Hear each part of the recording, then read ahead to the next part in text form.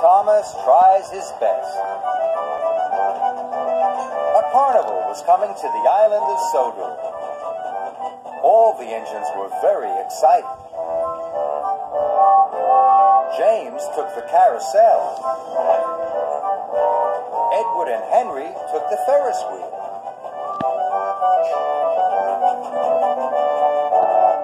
And Percy took the bumper cars. Thomas was the most excited of all. He couldn't wait for the carnival to open that afternoon. He was looking forward to seeing the children's happy faces. He loved hearing their cries of laughter as they rode on the Ferris wheel. But that afternoon, Sir Topham Hatt gave Thomas a new job. He was to collect some chickens from a country station and take them to the docks. I am relying on you to deliver the chickens safely, Thomas, said Sir Topham Hatt. Yes, sir, puffed Thomas. Thomas was sure he could get the job done in time to go and see the carnival. But he was surprised to find the station empty. Farmer McColl's truck has a flat tire, said the station master. He'll be here as soon as he can. Thomas waited and waited, but Farmer McColl still did not arrive with the chickens. What's wrong, Thomas? asked James. You don't look at all happy. I'm going to miss the carnival unless Farmer McColl comes soon, huffed Thomas. James thought Thomas was silly to wait. I've just come past the carnival, he said excitedly. All the children are arriving. You could rush over there and back before Farmer McColl arrives. That's a good idea, tooted Thomas. He was sure he could steam to the carnival and back again really quickly. But as he hurried to the carnival, Thomas started to worry.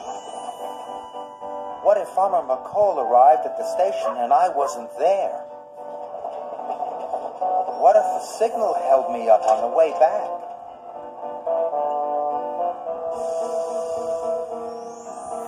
Sir Topham Hatt would be very cross if I was late. I mustn't let Sir Topham Hatt down, said Thomas to himself. And he hurried back to the station. Thomas knew that this job was going to take a long time. He might miss the carnival after all. At long last, Farmer McColl arrived with the chickens.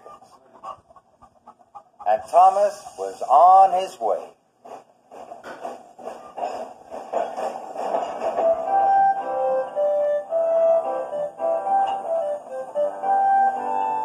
At the next station, Thomas told Gordon the whole story. You wouldn't have a problem if you were an express engine, huffed Gordon. You'd go really fast and get the job done in double quick time, like me. I'll be in time to see the carnival.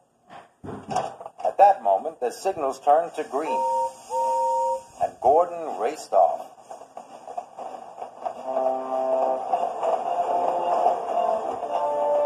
I can go fast too, tooted Thomas, and he steamed off after Gordon. I will see the carnival. I will see the carnival, he huffed and he puffed as he sped down the track. Gordon's next signal was green.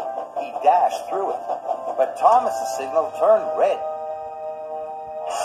Thomas screeched to a halt. The chickens in the vans flapped and squawked crossly.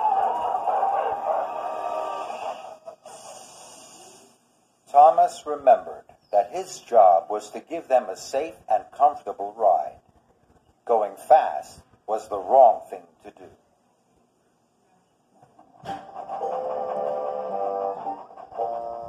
So Thomas puffed along slowly and carefully. But he was sad. It was getting late, and the carnival was already well underway.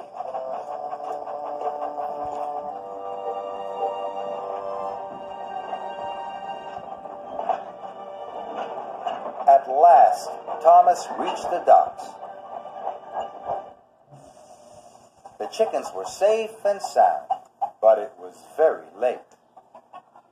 Now Thomas knew he wouldn't get to see the children at the carnival. He couldn't have felt sadder.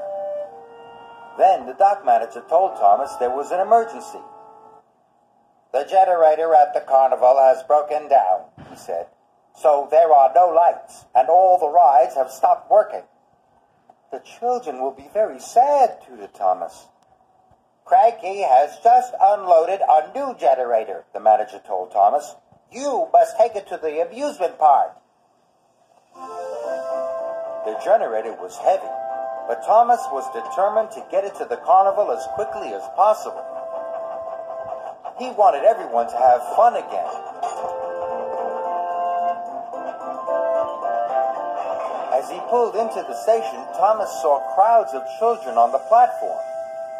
All the children cheered when they saw Thomas.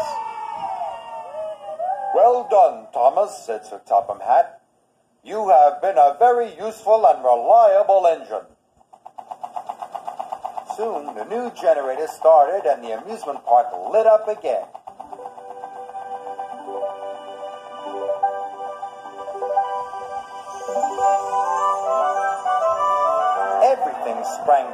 To life.